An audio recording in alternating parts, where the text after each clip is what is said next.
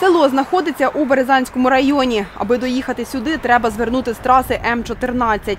На повороті дорога закінчується. Щоб дістатися села, три кілометри доводиться їхати вздовж поля. На ґрунтовій дорозі ями. У селі лишилося 11 хатин. Більшість з них зруйновані. У 2006 році придбало тут будинок подружжя Наконечних з міста Южне. Воду та продукти привозять з собою, використовують свердловину. Водокачка у селі не працює близько чотирьох років. Альвіна Наконечна розповідає, приїжджають сюди чотири рази на тиждень. Місцевість для життя непридатна, тому використовують як дачу. Ми якби самі собі пристосувалися, привозимо всі свої продукти, е, все беремо з собою, тому що магазинів тут немає, школи немає, дитсадків немає. Ну тут вже жили всі люди похилого віку, їм було не потрібно. А зараз, якби хто новий поселився, то водовід є.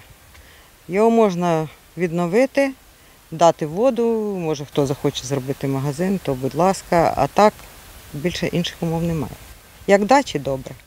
Приїжджають на машині. Доріг тут немає. Дорога по полю ґрунтова. Якщо є дощ, то не проїдеш. А оця, що була дорога отсипна, вона працювала до тих пір, доки почали там робити на тузли лінію електропередач. І вони це робили осінь, зима, коли були дощі, такі важкі машини їздили і возили ці опори, і вони розбили всю дорогу. На сьогоднішній день у селі проживають вісім людей. Шестеро з них приїжджі. Єдиний корінний житель глибокого пенсіонер Павло Чертов. 67-річний дідусь повернувся до рідного села сім років тому. Каже, сумував. Пригадує, років 50 тому тут була школа, а зараз не лишилося і сліду. Я ще до, до, до, чотир, чот- до 4 класу добули тут. Е, школа була навіть до, 4 класу, я тут школу кончав. Потім ну, Федоровку возили мене. Воду та їжу чоловіку привозить син. Також дідусь тримає кур та гусей. Павло Чертов каже, село почало занепадати, коли люди втратили робочі місця. Роботи не стало. Коли була робота, люди були, люди жили здесь. От ці всі дома були зайняті. А потім робота щось е, то сюди розпалася, не стало роботи, люди пов'їжджали по деревням, люди побросали. А це залишилося. Хто залишився, старики повмирали, і зараз взагалі нічого нікого нету. Наверное, лет 40-30, наверное, вже назад почали розв'язатися.